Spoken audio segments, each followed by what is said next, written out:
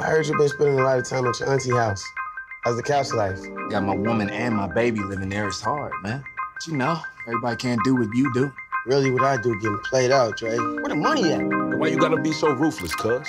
I'll make a few changes.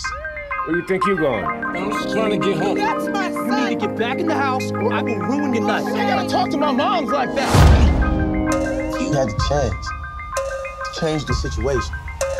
Would you take it? Just hit that first beat hard. All right, you cruising down the street. All right. Cruising down the street in my 6'4. Hey, that was dope, eh? You're listening to Compton's very own Ice Cube, Easy E, and Dr. Dre. I gotta tell you, you are witnessing history. People are scared of you guys. You have a unique voice. The world needs to hear it. They want NWA? Let's give them NWA. This is only the tip of the iceberg, gentlemen. What's going on? What do you have in that bag? Are you kidding me? You can't take that in the bus.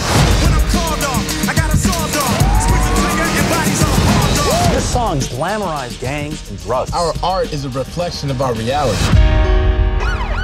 You guys supposed to be somewhere? These are artists. Rap is not an art. You cannot come down here and harass my clients because of what they look like.